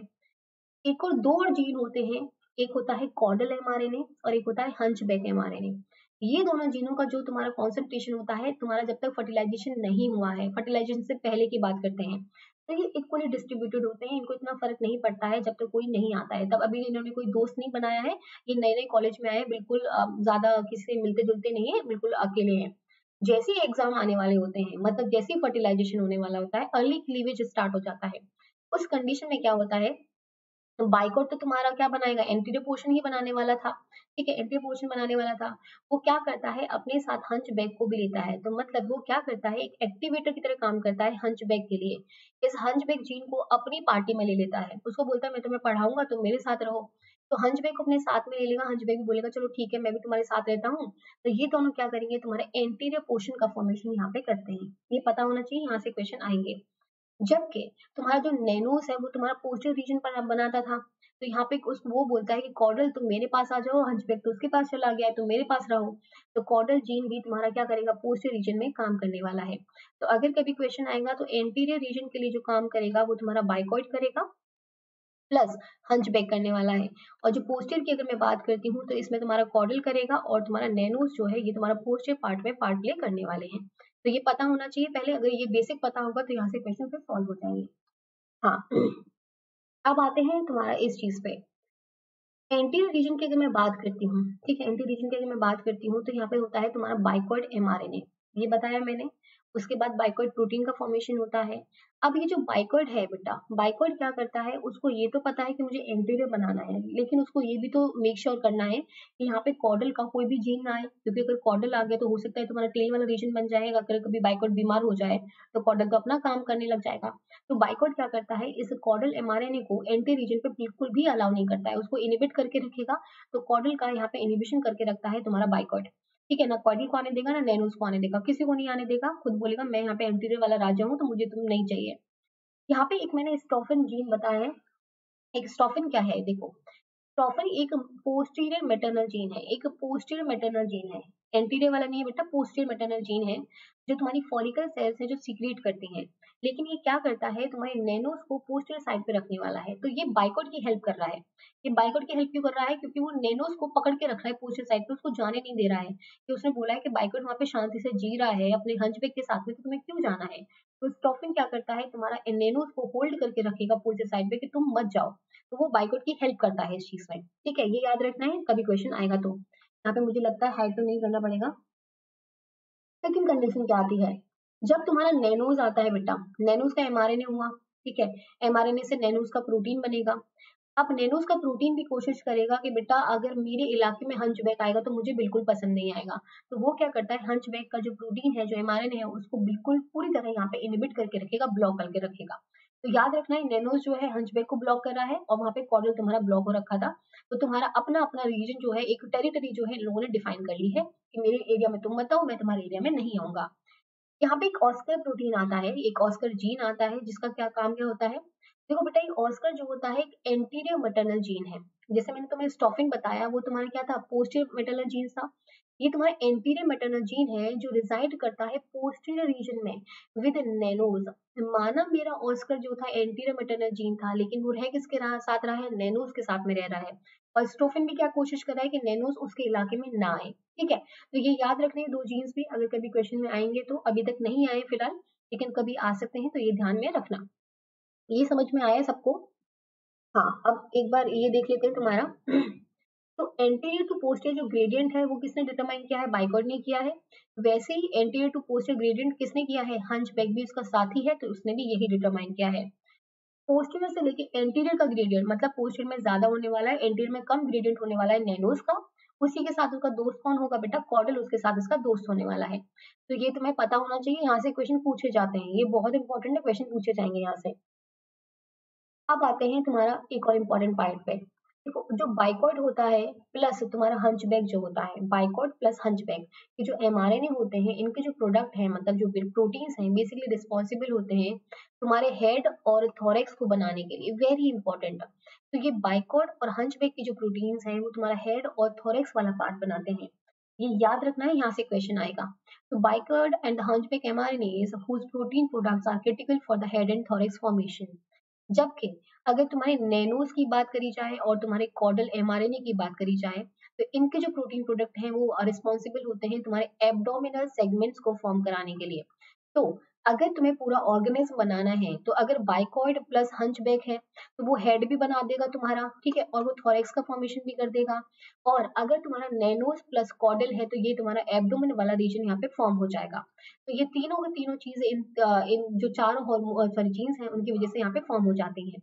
तो तुम्हें पता होना चाहिए यहाँ से कि क्वेश्चन कैसे बनने वाले हैं ये हम देखेंगे पहले now first bicoid is a maternal effect gene ये बता चुकी हूँ मैसेंजर एमआरएनए मतलब mRNA from the mother's bicoid gene is placed in the embryo by the mother's ovarian cells now when the bicoid protein is translated from this RNA during the early cleavage form is a gradient with the highest concentration in the anterior of the egg and lowest in the posterior egg. Bicod also help in elevating the level of hunchback protein in the anterior of the embryo. Bicoid और hunchback दोनों साथ में मिलकर तुम्हारा क्या बनाते हैं anterior portion यहाँ पे बनाने वाले हैं at the anterior pole mRNA is translated into the bicod protein which forms a gradient highest and the anterior ये बता चुकी हूँ पोस्टर पोल पे तुम्हारा नैनोस का ज़्यादा होने वाला है प्लस कॉडल भी यहाँ पे आना है और बाइकोड क्या करता है? ये तो मैं समझा चुकी हूँ। बाइकोड क्या करेगा? तुम्हारी कॉडल का बनने नहीं देगा, ठीक है? और तुम्हारा जो नैनोस प्रोटीन है, वो आगे तुम्हारा हेंच है, जो हंच बैक है, उसको भी तुम्हारा इनिबिट करता है। तो ये दोनों चीज़ें भी पता होनी चाहिए। यहाँ से कभी क्वेश्चन आएगा तो ये चीज़ें भी तुम्हें ध्यान में रहनी चाहिए। इससे ज़्यादा में इसमें कुछ और ज़्यादा इंपॉर्टेंट है नहीं। अब चलते हैं तो कुछ इंपॉर्टेंट चीज़ों पे, जहाँ से तुम्हारे क्वेश्चन पूछे जाएँगे। ये सारा का सारा वही लिखा हुआ है। एक इंपॉर्टेंट पार्ट तुम्हारा बाइकॉड आया। और तुम्हारा हंच बैक आया, तुम्हारा हेड बन गया थोरेक्स बन गया, ठीक है? अगर तुम्हारा नैनोज आया प्लस कॉडल आया तो तुम्हारा एब्डोमन रीजन बन गया तो ये तो तुम्हारा यहाँ पे फॉर्मेशन हो चुका है। बेटा, यहाँ पे तुम्हारा क्या है? एक एक्रोन वाला पार्ट होता है और एक टेल्सन वाला पार्ट होता है। तो बेसिकली अगर मैं बात करती हूँ तुम्हारी ड्रोसोफिला की, ये वाला तुम्हारा हेड रीजन हो गया, ठीक है? ये तुम्हारा थोरेक्स वाला रीजन हो गया है और ये वाला तुम्हारा एब्डोमन रीजन हो गया है। अब यहाँ पे दो रीजन और होते हैं। एक एक्रोन रीजन होता है, ठीक है? और एक टेल्सन रीजन होता है। दो रीजन और होते हैं। तो अगर हम बात करते हैं एक्रोन रीजन की तो ये होता है मोस्ट एंटीरियर हेड सेगमेंट अगर हेड सेगमेंट का जो मोस्ट एंटीरियर वाला पार्ट होता है, उसे एक्रोन बोला जाता है। और जो टेल्सिन वाला पार्ट होता है the post the most posterior abdominal segment और यहाँ पे टेल्सिन क्या है? जो सबसे ज़्यादा पोस्टीरियर एब्डोमिनल सेगमेंट है, उसे टेल्सिन बोला जाता है। वेरी इंपॉर्टेंट ध्यान में रखना है। अब इसको कौन बनाता, कौन है, ये देख लेते हैं। The torso RNA is synthesized by the ovarian cell deposited in the oocyte. तो ये जो बनता है, तुम्हारा एक ओवेरियन सेल्स जो बेसिकली डिपॉजिटेड होती हैं, तुम्हारी ओ साइट में उसकी रिस्पॉन्सिबल होती हैं तुम्हारा टॉर्सो आरएनए बनाने के लिए, ठीक है? टॉर्सो आरएनए बनेगा और ये टॉर्सो आरएनए होता है, वो रिस्पॉन्सिबल होता है तुम्हारे एक्रोन को बनाने के लिए और तुम्हारे टेल्सिन पार्ट को बनाने के लिए। अब यहाँ पे कौन सा पाथवे यूज़ होता है वेरी इंपॉर्टेंट ध्यान में रखना है। यहाँ पे जो होता है तुम्हारा नॉर्मली रिसेप्टर काइनेस पाथवे होता है या फिर मैप काइनेस जो कैस्केट पाथवे है, यहाँ पे यूज़ होता है। तो यहाँ पे क्या होता है? टॉर्सो लाइक सिग्नल आता है, ठीक है? यहाँ पे मैप काइनेस कास्केट जो कैस्केट पाथवे है, जो आरटीकेस पाथवे के थ्रू एक्टिवेट हो जाता है तो वहाँ पे ये एक्टिवेट हो जाता है। और जैसे ही एक्टिवेट होता है टॉर्सो का सिग्नल आता है बेटा। टॉर्सो का जैसे सिग्नल आता है, यहाँ पे क्या फॉर्मेशन होगा? तुम्हारे एक एक्रोन का फॉर्मेशन होता है और एक तुम्हारे टेल्सिन का जो फॉर्मेशन है, वो यहाँ पे पॉसिबल हो जाता है। टेल्सिन जो होता है, टेल वाला रीजन होता है, जो पोस्टियर वाला सेगमेंट होता है, उसे टेल्सिन बोला जाएगा। जो एंटीरियर वाला हेड सेगमेंट होता है, यहाँ पे तुम्हारा एक्रोन उसको बोला जाता है। तो यहाँ पे जो स्टार्टिंग वाला पार्ट है, वहाँ पे इसका फॉर्मेशन इंक्रीज होता है और जो लास्ट वाला पार्ट है, इसका यहाँ पे फॉर्मेशन इंक्रीज होता है। मतलब जो अकेला टोर्सो प्रोटीन है, जो टोर्सो को जो सिग्नल आ रहा है, वो तुम्हारा दोनों चीज़ों को फॉर्म करने में हेल्प कर रहा है। चाहे वो एक्रोन हो या फिर तुम्हारा टेलसिन हो। पाथवे कौन सा यूज़ हो रहा है? मैप काइनेस पाथवे या फिर रिसेप्टर रिसेप्टर टायरसिन काइनेस जो है, यहाँ से वो पाथवे वो एक्टिवेट होता है। एक और इम्पोर्टेंट चीज़ अगर तुमने ये सब पूछा जाए कि तुम्हारा हेड भी बन रहा है, ठीक है, तुम्हारा थोरेक्स भी बन रहा है, तुम्हारा एब्डोमन भी बन रहा है, ये तुम्हें पता है ऑर्थोपोर्ट्स में करा चुकी हूँ कि जो इंसेक्ट्स होते हैं वो तीन पार्ट्स में डिवाइड होते हैं हेड थोरेक्स और एब्डोमन तीन सेगमेंट्स होते थे उसमें। अब हेड का जो एंटीरियर सेगमेंट है, उसे एक्रोन बोला जा रहा है और एब्डोमिनल का जो पोस्टियर सेगमेंट है, उसको टेल्सिन बोला जा रहा है। अब ऐसा क्यों नहीं होता है कि हेड थोरिक्स एब्डोमेन में ये टॉर्सो प्रोटीन एक्टिवेट क्यों नहीं होता है? यहाँ पे क्यों नहीं फॉर्म होता है, सिर्फ़ वो लास्ट लास्ट में ही क्यों फॉर्म हो रहे हैं, वो एंड एंड में क्यों फॉर्म हो रहे हैं? क्योंकि यहाँ पे एक ग्लूचो प्रोटीन होता है बेटा, जो एक एक्टिव रिप्रेसर होता है, वो क्या करता है स्टोर्सो प्रोटीन का जो एक्सप्रेशन है, इस बीच वाले पार्ट में, ये हेड थोरेक्स एब्डोमन वाले पार्ट में एक्सप्रेस नहीं होने देगा। अगर वो एक्सप्रेस नहीं होने देगा तो सिर्फ़ एक ये वाला एंड बचता है और एक ये वाला एंड बचता है, जहाँ पे तुम्हारा स्टोर्सो जो सिग्नल आया है, उसका जो एक्सप्रेशन है प्रोटीन का वो पॉसिबल हो पाता है। तो ये याद रखना है, अगर क्वेश्चन में आए तो क्वेश्चन में आया हुआ है तो ये चीज़ ध्यान में रखोगे तो यहाँ से क्वेश्चन सॉल्व हो जाएँगे। हाँ। अब आते हैं, कुछ म्यूटेंट की बात करते हैं। बेटा, ये म्यूटेंट वाला बहुत ज़्यादा इंपॉर्टेंट है। यहाँ से क्वेश्चन आते हैं तो ध्यान में रखना है म्यूटेंट वाला काम कैसे करता है, कैसे नहीं करता है। तो पहले पढ़ा देती हूँ, उसके बाद फिगर के थ्रू समझा देती हूँ, फिर हम थ्योरी पढ़ लेंगे। नॉर्मली वाइल्ड टाइप वाला है तुम्हारा। वाइल्ड टाइप वाला है जहाँ पे बाइकोड एमआरएनए भी है तुम्हारा, ठीक है? तुम्हारा नैनोज भी है, सब कुछ बहुत अच्छे से काम कर रहा है।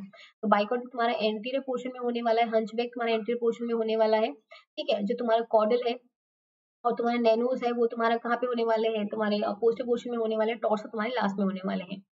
तो क्या होता है, अगर वाइल्ड टाइप का तुम्हारा फॉर्मेशन होता है एडल्ट का फॉर्मेशन होता है तो पहले एक्रोन बनेगा, जो हेड सेगमेंट का एंटीरियर वाला पोर्शन होता है बेटा, उसके बाद हेड बनेगा हेड के बाद थोरेक्स बनता है, ये थोरेक्स वाला रीजन है, ये तुम्हारा एब्डोमन वाला रीजन है, और ये तुम्हारा टेल्सन वाला रीजन है।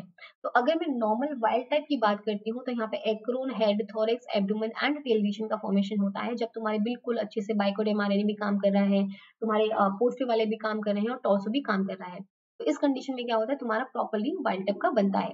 लेकिन सेकेंड कंडीशन में आते हैं। अगर तुम्हारा जो बाइकवर्ड जीन है, वो डेफिशिएंट हो जाता है बेटा, क्योंकि बाइकवर्ड जीन ही रिस्पॉन्सिबल था तुम्हारे हंचबैक को भी एक्टिवेट करने के लिए।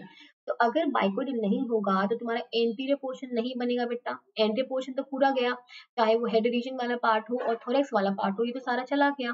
ठीक है? यहाँ पे चला गया। तो जैसे तुम्हारा डेफिशिएंट हो जाता है बाइकॉड अगर बाइकॉड नहीं होता है, अगर वो म्यूटेटेड होता है तो तुम्हारा जो टेल वाला रीजन है बेसिकली जो एब्डोमेन वाला रीजन है, वही बनने वाला है और दोनों साइड तुम्हारे टेल का फॉर्मेशन हो जाता है क्योंकि एंटीरियर वाला तो जीन कोई काम करने ही वाला नहीं है। तो एंटीरियर पे तो कुछ काम करेगा ही नहीं नहीं करेगा तो तुम्हारा बाइकोट की जगह जितना भी कॉडल और नैनोस होगा वो अपनी जगह ले लेंगे। तो यहाँ पे क्या बनता है? दो टेल बन जाती है और एक एब्डोमेन बन जाता है। ये याद रखना, यहाँ से क्वेश्चन आते हैं। और ये याद करने की भी ज़रूरत नहीं अगर समझ में आ जाएगा तो कोई प्रॉब्लम नहीं आने वाली है। क्योंकि बाइकआउट भी नहीं है हंचबैक भी नहीं है बेटा। तो थोरेक्स और थोरेक्स और हेड तो बनेंगे नहीं। अगर हेड वाला रीजन नहीं बनेगा तो एंटीरियर सेगमेंट तो कैसे बन जाएगा ना फिर उसका? तो वो भी नहीं बनेगा। तो यहाँ पे सिर्फ़ कौन काम करेगा? कॉडल और नैनोज करेंगे। अगर कॉडल और नैनोज करेंगे तो उसका जो पोस्टियर सेगमेंट जो तुम्हारा नॉर्मली टेल्सिन बनने वाला था, उसका एंटीरियर सेगमेंट भी क्या बन जाएगा? टेल्सिन का फॉर्मेशन यहाँ पे हो जाएगा। तो दो टेल हो जाएँगे और एक एब्डोमेन हो जाएगा, अगर ये कंडीशन आती है तो। अगर नहीं किसी को समझ में आए तो प्लीज़ मुझे बता देना, मैं दोबारा समझा दूँगी, कोई प्रॉब्लम नहीं है मुझे। अब देखते हैं। एक और कंडीशन तो जहाँ पे तुम्हारा ऑलरेडी जो म्यूटेंट वाला फॉर्म था, जहाँ पे तुम्हारा एक टेल्सिन बन रहा था, दूसरा भी टेल्सिन बनना था और बीच में एब्डोमन बन रहा था। अब अगर ये क्वेश्चन आ जाता है कि ऐसा म्यूटेंट है तुम्हारे पास, एक ड्रोसोफिला का, जहाँ पे दो टेल्सन है और एक एब्डोमेन है, अब क्या करा तुमने इंजेक्ट करा बाइकॉड को? एक एंटीरियर पोर्शन में तुमने बाइकॉड को इंजेक्ट कर दिया। अगर ये क्वेश्चन आता है, इस म्यूटेंट वाली कंडीशन में अगर तुमने बाइकॉड को ऐड करा है एंटीरियर एंड पे इंजेक्ट कर दिया है, अगर वो एंटीरियर एंड पे जाएगा बेटा तो वो सेम वही काम करने लग जाएगा जो उसका काम था। बाइकआउट जैसे ही जाएगा, वो हंचबैक को बोलेगा कि तुम आ जाओ, उसको एक्टिवेट कर देगा।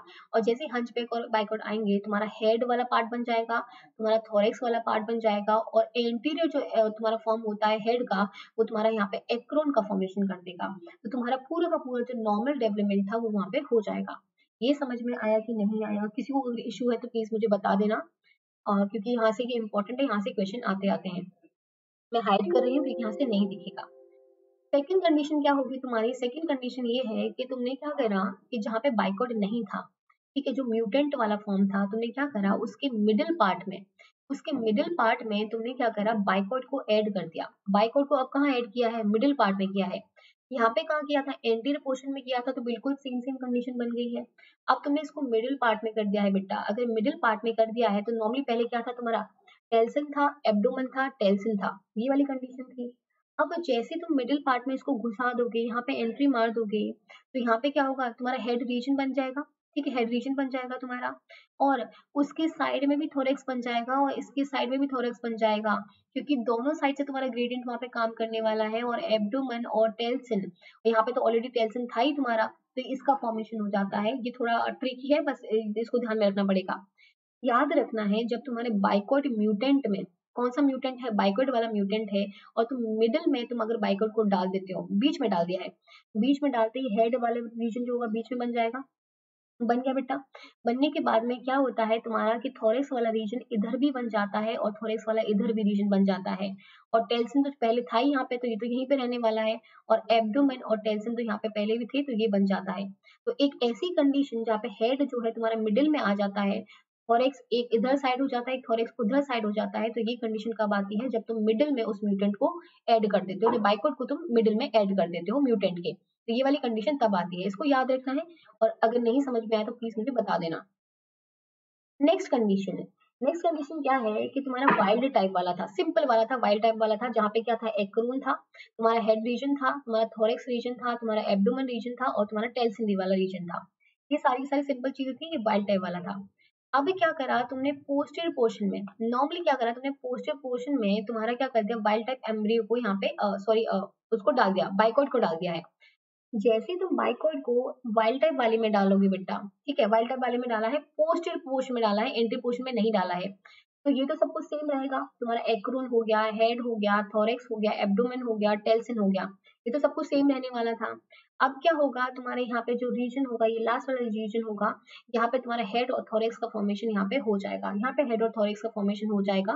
तो ये जो कंडीशन आती है बेटा, ये जब दो हेड बन जाते हैं जब दो हेड कब बनेंगे, जब तुम पोस्टर पोर्शन में उसको कर दोगे। जब पोस्टर में डाल दोगे तो दो हेड बन जाएँगे और जब तुम मिडिल में डाल दोगे तो तुम्हारे क्या बन जाएँगे वहाँ पे?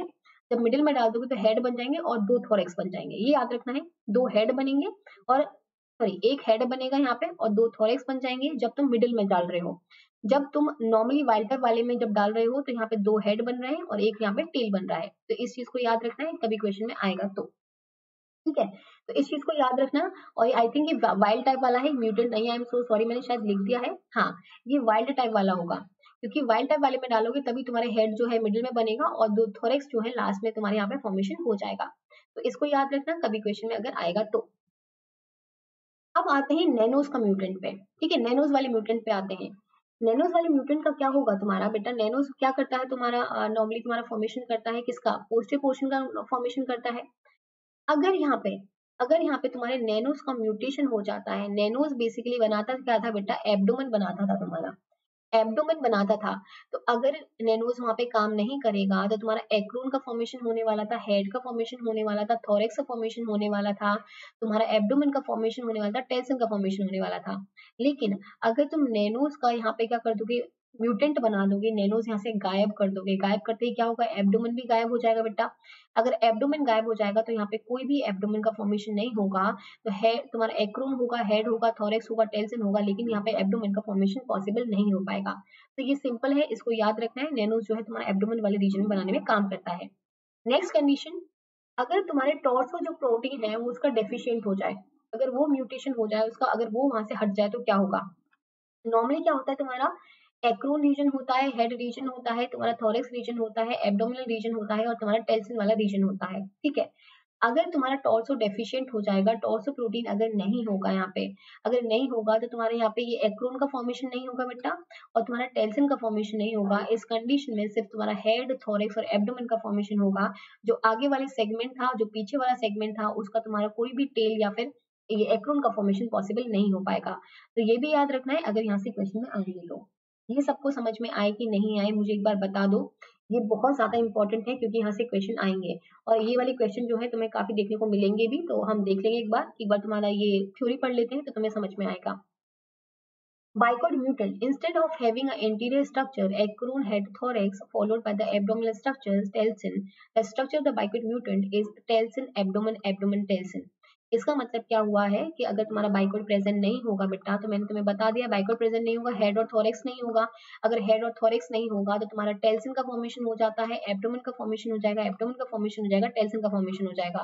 तो ये तुम्हें बता चुकी हूँ तो ये चीज़ याद रखनी है।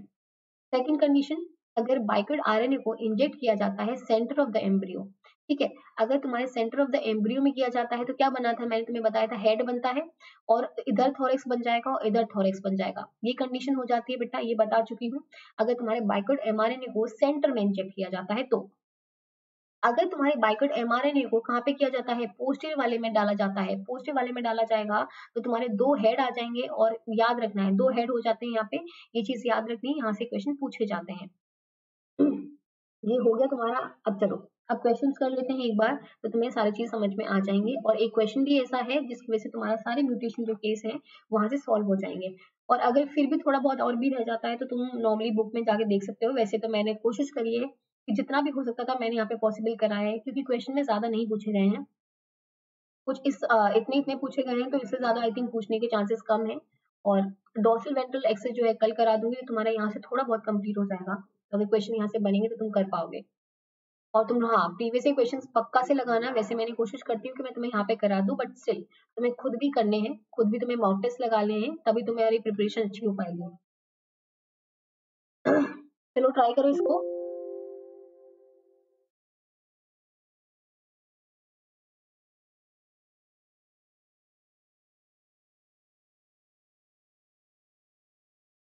हम्म अब इसको ट्राई करो फटाफट से। हाँ if an embryo undergoes thirteen cleavage division अगर किसी एम्ब्रियो के अंदर तेरे वाले जो क्लीवेज डिवीज़न हो रहा है during embryogenesis in the size of the embryo compare to the zygote बेटा, वो सेम ही रहता है। तुम्हारा जाइगोट के अंदर डिवीज़न होता है साइटोप्लाज्म के अंदर डिवीज़न होता है सेल का वहाँ पे पूरा साइज़ ऑफ़ एम्ब्रियो नहीं इंक्रीज होता है। वो जो होता है, उसके अंदर डिवीज़न होता जाएगा, लेकिन जो साइज़ ऑफ़ एम्ब्रियो है रिमेन सेम तो रिमेन ऑलमोस्ट द सेम कभी भी इंक्रीज नहीं होगा एक्सपोनेंशियल फ़ैशन में नहीं बनेगा, तुम तो पता नहीं क्या बन जाते अगर ऐसा कुछ होता। तो रिमेन्स ऑलमोस्ट द सेम हाँ ये ध्यान में रखना है, अगर क्वेश्चन में आएगा तो। चलो next question good evening Mukesh हाँ प्रभजोत हाँ डी वाला होगा डी वाला होगा. Very good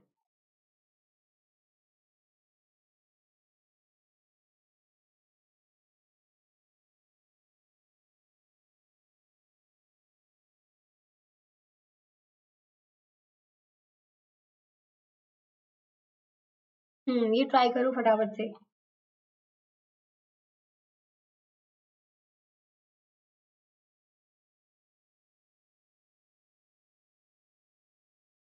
Yes, which of the following maternal effect gene product regulate the production of the anterior structure in the Drosophila embryo? तो बाइकर्ड तुम्हारा पोस्ट एंटीरियर बनाएगा नैनोस तुम्हारा पोस्टर बनाएगा तो ये तो बिल्कुल गलत हो जाएगा। तुमसे एंटीरियर पूछा गया है। बाइकर्ड और कॉडल भी एक दूसरे के बिल्कुल इनिबिट करते हैं बेटा बहुत दुश्मन है जानी दुश्मन है तो ये तो साथ में आ ही नहीं सकते। नैनोज और कॉडल अगर साथ में आ जाते तुम्हारा पोस्टीरियर जो पोर्शन है वो यहाँ पे फॉर्म करते तो ये भी गलत हो जाता। तो यहाँ पे जो बाइकॉर्ड और हंच है दोनों आपस में बेस्ट फ्रेंड्स हैं और ये काम क्या करते हैं? एंटीरियर स्ट्रक्चर का प्रोडक्शन करने में हेल्प करते हैं तो आंसर हो जाएगा B will be right answer yes चलो नेक्स्ट क्वेश्चन करो। वेरी गुड प्रभजोत जाहिद पूजा मुकेश हाँ मुक्ता वेरी गुड हाँ जो क्वेश्चन आते हैं नॉर्मली यहाँ से ये वाले क्वेश्चन आते हैं, और भी जो इंपॉर्टेंट क्वेश्चन है, अभी कर रहे हैं डोंट वेरी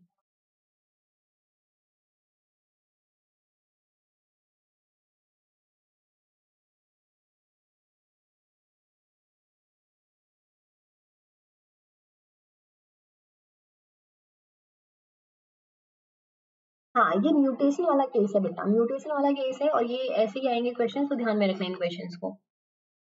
हाँ देखो if the bicoid mRNA is injected into the posterior pole जैसे मैंने बताया था ये तुम्हारा पोस्टर वाला पोर्शन हो गया है, अगर तुम बाइकवर्ड एमआरएनए को यहाँ पे इंजेक्ट करोगे तो हेड वाला रीजन तो यहाँ पे ऑलरेडी था तो एक और हेड यहाँ पे फॉर्मेशन हो जाता है तो जो बाइकवर्ड वाला जो एमआरएनए अगर तुम पोस्टर पोर्शन में इंजेक्ट करते हो तो इसमें क्या होता है हेड स्ट्रक्चर बन जाएँगे दोनों साइड में पोस्टर पोल पे भी होगा और एंटीरियर पोल पे भी तुम्हारा हेड स्ट्रक्चर होने वाला है तो ये जो हो जाएगा, तुम्हारा ए वाला आंसर हो जाएगा।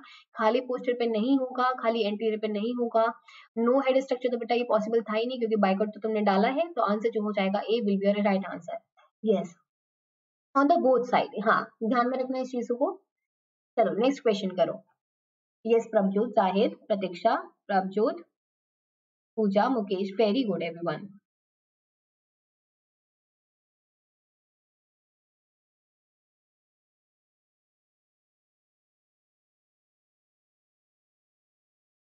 और जो क्वेश्चन आए नॉर्मली तुम्हारे यही प्रीवियस क्वेश्चन आए हैं तो आई होप तुम्हारे लिए अभी भी यही वाले क्वेश्चन आए ऐसे कोशिश करी है, एक बार टॉसो वाला देख के जाना, और थोड़े म्यूटेंट वाले केसेस थोड़ा देख के जाना।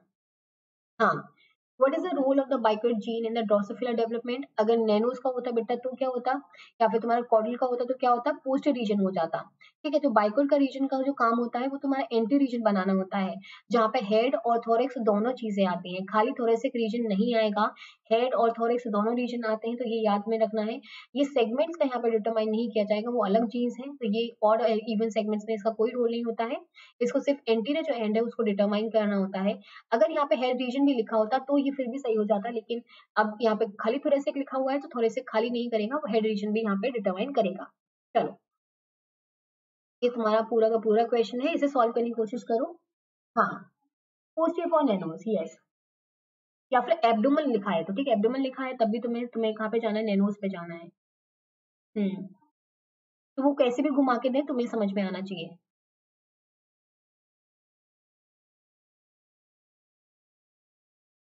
उत्तर कौन से वाले का आंसर है B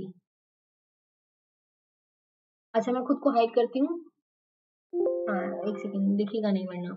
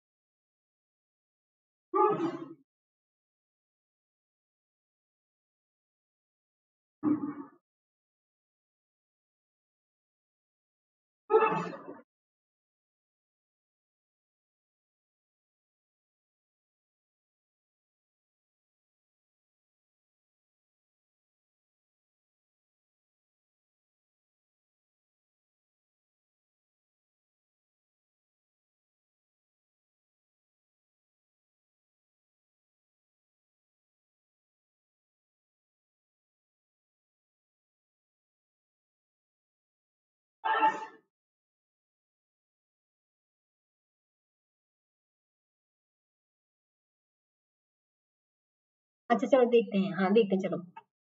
In an experiment, the purified bicod mRNA is injected into the early embryos. तुमने बाइकोड एमआरएनए को निकाला प्यूरिफाई किया और इंजेक्ट कर दिया अर्ली एम्ब्रियोज में। Choose the correct option when injected into the bicoid deficient embryos ठीक है?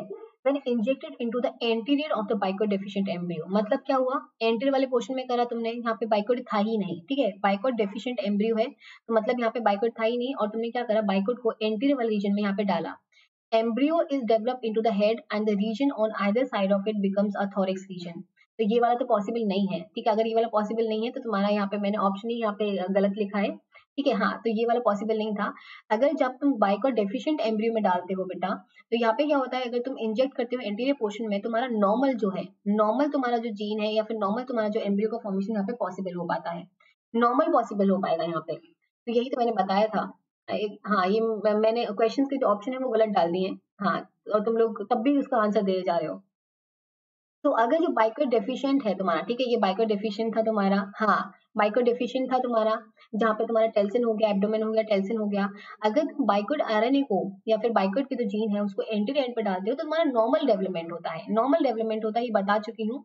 तो अगर मैंने वो गलत डाला तो तुम लोग भी गलत आंसर बता रहे हो। हाँ तो ये ऑप्शन ही गलत है ये वाला तो। ठीक है ऑप्शन गलत हो जाएगा ए वाला गलत हो जाएगा। When injected into the center of the embryo बेटा अगर तुम्हारा हेड थोरेक्स ऑलरेडी यहाँ पे था तो यहाँ पे अगर सेंटर ऑफ़ द एम्ब्रियो में डालते हो तो middle region develop into the thorax region and either of side it becomes head ठीक है? दोनों साइड जो है तुम्हारी हेड बन जाते हैं अगर तुम्हारे सेंटर में डाला जाता है ठीक है? तो ये वाला तुम्हारा बिल्कुल आ, हाँ हाँ हाँ हाँ थोरेक्स नहीं होगा हाँ हाँ वेरी गुड तो अगर सेंटर वाली बात बताती हूँ तो यहाँ पे तुम एक बात देखो। मैंने तुम्हें थोड़ा बहुत थोड़ा बहुत उसमें गलत हो गया है तो तुमने सारा का सारा वहाँ पे करेक्ट की जगह इनकरेक्ट डालना था, और तुमने सारा का सारा वहाँ से करेक्ट वाले डाल दिए हैं। तो यहाँ पे अगर देखा जाएगा, तुम्हारे अगर सेंटर रीजन में डाला जाता है बेटा, अगर मिडिल रीजन में डाला जाता है तो वहाँ तो एक हेड रीजन बनता है, और आप वापस जो दोनों साइड है, तुम्हारे थोरेक्स रीजन का फॉर्मेशन होता है। वापस से दोनों थोरेक्स रीजन का फॉर्मेशन होगा। तो ये वाला तो तुम्हारा क्या होगा? यहाँ पे क्या कर दिया बेटा? यहाँ पे तुम्हारा दोनों साइड हेड रीजन बना दिया गया है। तो ये वाला भी तुम्हारा गलत हो जाएगा। ये भी तुम्हारा बिल्कुल गलत हो जाएगा।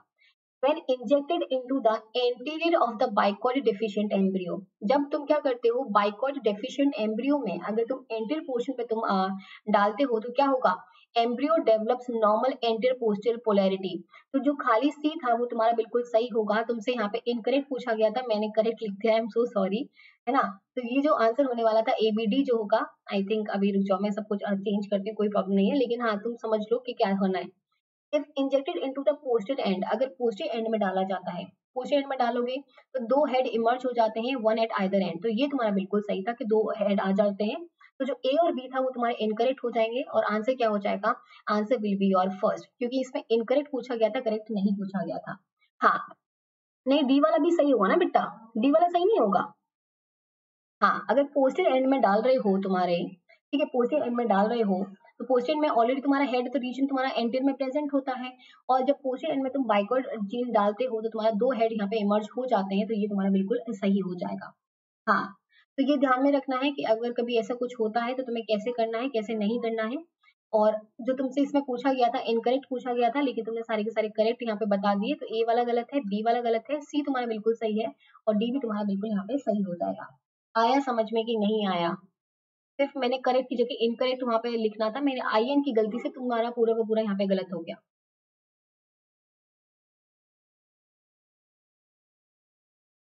हाँ नहीं प्रभजोत क्या होता है कि अगर मैं बात करती हूँ, नौ मिनट तुम्हारे एम्ब्रियो की बात करती हूँ और अगर पोस्टेड एंड पे तुम्हारा क्या डाल दिया जाता है बाइकोट डाल दिया जाता है। ठीक है, अगर बाइकोट को इंजेक्ट किया जाता है तो तुम्हारे यहाँ पे दो हेड इमर्ज हो जाते हैं। दो हेड इमर्ज हो जाते हैं वन एट आइदर एंड हाँ हाँ।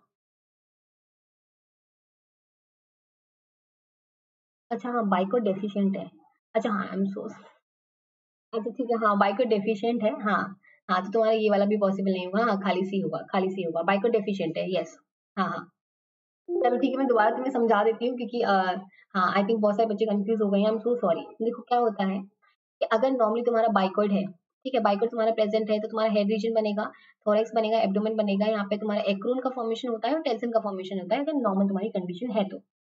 अगर तुम्हारा बाइकोट का डेफिशिएंट हो जाता है तो तुम्हारा हेड और थोरेक्स वाला रीजन है जो पॉसिबल नहीं बनेगा तो यहाँ पे तुम्हारी टेल्सन बन जाता है एब्डोमन बन जाता है और टेल्सन का फॉर्मेशन हो जाता है। ये नॉर्मल तुम्हारा म्यूटेंट जो फॉर्म होता है, ये होता है। अगर तुम्हारा नॉर्मल वाइल्ड टाइप वाला है, अगर तुम्हारा जहाँ पे एक्रोन बनना है हेड बनना है थोरेक्स बनना है एब्डोमिन बनना है और तुम्हारा टेल्सन वाला रीजन बनना है, अगर इस कंडीशन में तुम मिडल मिडिल में घुसाते हो तो तुम्हारा हेड रीजन यहाँ पे फॉर्म हो जाएगा, ठीक है? अगर मिडिल में घुमा घुसाते हो तो यहाँ पे दोनों साइड में तुम्हारा थोरेक्स का फॉर्मेशन पॉसिबल हो सकता है। लेकिन अगर डेफिशिएंट की बात करते हैं बेटा, अगर बाइकोट डेफिशिएंट है तो मतलब यहाँ पे एंटी रीजन तो होगा ही नहीं। यहाँ पे टेल्सन रीजन होगा, तुम्हारा एब्डोमन रीजन होगा टेल्सन रीजन होगा। तो इस कंडीशन में अगर तुम बाइकोट को ज्वाइन करवाओगे, अगर बाइकोट को ज्वाइन करवाओगे तो तुम्हारा हेड रीजन का यहाँ पे फॉर्मेशन हो जाएगा थोरिक्स रीजन का फॉर्मेशन हो जाएगा। तो इसीलिए जो लास्ट वाला था, क्योंकि हेड डेफिशिएंट की बात करे थे बाइकोट डेफिशिएंट की बात करे थे तो बाइकोट डेफिशिएंट में तुम्हारा होगा ही नहीं एंटी रीजन वाला। तो अगर तुम पोस्टर एंड में भी बाइकोट डालते हो तो वहाँ पे सिर्फ़ एक ही हेड आएगा तो वहाँ पे फिर टेल वाला वो सॉरी जो एंटर वाला है वो फॉर्मेशन नहीं होगा। ठीक है? तो ये याद रखना तो, तो आंसर हो जाएगा डी भी गलत हो जाएगा क्योंकि तुम्हारा बाइकोट डेफिशिएंट एम्ब्रियो था। जबकि अगर ये वाला क्वेश्चन देखोगे ये पहला वाला क्वेश्चन देखोगे इसमें बोला गया है जो बाइकोड एमआरएनए को अगर तुम इंजेक्ट करते हो पोस्टेड पोल पे तो मतलब वो नॉर्मली तुम्हारा था नॉर्मल तुम्हारा था जहाँ पे head thorax region already present था। तो जब तुम पोस्टर पे करोगे, तब तुम्हारा यहाँ पे दो हेड का जो स्ट्रक्चर है, वो फॉर्म हो जाता है। एक तुम्हारा एंट्री पोर्शन पे भी हो जाएगा और तुम्हारे यहाँ पे पोस्टर पोल पे भी हो जाएगा। तो हाँ ये याद रखना है, ठीक है? हाँ हाँ हाँ तो ये याद रखना है। अभी क्वेश्चन आई होप तुम्हें समझ में आ गए होंगे। हाँ। हाँ तो अब देख लेना एक और बार। अगर तो फिर भी अगर नहीं आते समझ में तो मुझे बता देना, मैं एक और बार समझा दूँगी। हम्म। चलो। और क्वेश्चन सॉल्व करना अपनी तरफ़ से प्रीवियस ईयर क्वेश्चन जितने भी हैं, और जितना हो सके मॉक टेस्ट तुम्हारा आई थिंक प्रतीक्षा ने बताया था सबको। तो एक बार उसको देख लेना मॉक टेस्ट देने की कोशिश करना। और thirteen to I think fifteen या सेवनटीन तक तुम्हारा यू नो रिविजन चलने वाला है तो खुद से भी रिविजन करते रहना। दिवाली के दिन छुट्टी कर लेना, कोई प्रॉब्लम नहीं है, लेकिन और दिन तुम रिविजन करते रहना। Okay okay. सो so, अगर कोई भी नया बच्चा आता है और उन्हें और भी क्लासेस ज्वाइन करनी है तो अन अकेडमी पे छह बजे क्लास होती है सिक्स पी पे जहाँ पे आपको प्रीवियस क्वेश्चन कराए जाते हैं। और आज तो मोस्ट इंपॉर्टेंट क्वेश्चन कराए जाएँगे तो आप कुमकुम गौतम सर्च कर सकते हो फॉलो कर सकते हो। तो जब भी क्लास होगी आपके पास नोटिफिकेशन आ जाएगा और आप उस क्लास को ज्वाइन कर पाएँगे। तो अगर आप प्लस पे ज्वाइन करना चाहते हैं आप प्लस पे ज्वाइन कर सकते हैं। ये जो होती है आपकी पेड वाली क्लासेस होती हैं जहाँ पे आपको रेगुलरली पढ़ाया जाता है। आपका सारा कोर्स यहाँ पे कंप्लीट कराया जाएगा। नोट जो है आपको पीडीएफ फॉर्मेट में यहाँ पे प्रोवाइड किए जाते हैं। आपके डाउट सेशंस होते हैं, यहाँ पे मॉक टेस्ट होते हैं, यहाँ पे आपके क्विजेस कराए जाते हैं, जिसके थ्रू आपका प्रॉपर रिविजन यहाँ से हो जाता है। मेरा यहाँ पे रिवीजन कोर्स चल रहा है तो अगर किसी को ज्वाइन करना है तो आप ज्वाइन कर सकते हैं। यहाँ पे जो तुम्हारे प्रीवियस क्वेश्चन है और जो इंपॉर्टेंट क्वेश्चन है वो यहाँ पे करा रही हूँ। और जो भी बच्चे आगे वाले सीएसआई के लिए प्रिपेयर करना चाहते हैं, वो अभी तुम्हारा यू नो एनरोल कर सकते हैं खुद को। उसके साथ साथ आपके यहाँ पे प्लस क्लासेस पे जितने भी आपके एजुकेटर्स हैं, आपको सबकी लाइव प्लस रिकॉर्डेड क्लासेस यहाँ पे प्रोवाइड की जाती हैं। तो सिर्फ़ मेरी नहीं, जितने भी टीचर्स हैं, आपको सबकी लाइव प्लस रिकॉर्डेड क्लासेस यहाँ पे प्रोवाइड की जाएँगी। तो आपको यहाँ पे सब्सक्रिप्शन लेना है, ध्यान रहे गेट ई ना लिखा हो यहाँ पे यहाँ पे लिखा होना चाहिए C S I R U G C NET तो आपको यहाँ पे क्लिक करना है और क्लिक करने के बाद में आपको चूज़ करना होता है कि आपको वन मंथ का प्लान लेना है कि थ्री मंथ्स का लेना है six months twelve twenty four months तो जो भी बच्चे आगे वाले सी एस आई के लिए प्रिपेयर करना चाहते हैं six twelve twenty four months वाला ले सकते हैं। यहाँ पे आपको रेफरल कोड यूज़ करना होता है। वो जो रेफरल कोड है बेटा, वो है kumkum ten K U M K U M ten है। आपको ये अप्लाई करना है देन करना है प्रोसीड टू पे आपको टेन परसेंट ऑफ़ मिल जाएगा जैसे आप कुमकुम टेन यहाँ पे अप्लाई करेंगे। फिर आपको पेमेंट करना होता है, चाहे डेबिट कार्ड के थ्रू करो क्रेडिट कार्ड के थ्रू करो ई e हो गया यूपीआई हो गया वॉलेट हो गया नेट बैंकिंग हो गया। तो इतना अमाउंट पे करना होता है। तो अगर किसी बच्चे को फाइनेंशियली प्रॉब्लम है तो आप ई e के थ्रू भी कर सकते हो, जहाँ पे नो कॉस्ट ईएमआई वाला ऑप्शन भी है। मतलब कोई भी इंटरेस्ट आपसे नहीं लिया जाता है, आपको सिर्फ़ ये इंस्टॉलमेंट में पे करना होता है। तो अन अकेडमी ऐप पे अगर आपको प्लस ज्वाइन करना है तो आप सब्सक्रिप्शन ले सकते हैं। कुमकुम टेन यहाँ पे कोड अप्लाई करना है, जिसके बाद आपको टेन परसेंट ऑफ़ मिल जाएगा। और मेरे कोर्सेज के साथ साथ जितने भी C S I UGC NET के एजुकेटर्स हैं, आपको सबकी लाइव प्लस रिकॉर्डेड क्लासेस यहाँ पे मिल जाती हैं। तो अगर किसी को ज्वाइन करना है तो आप भी ज्वाइन कर सकते हैं। अगर कोई भी नया बच्चा है तो आप लाइक शेयर और सब्सक्राइब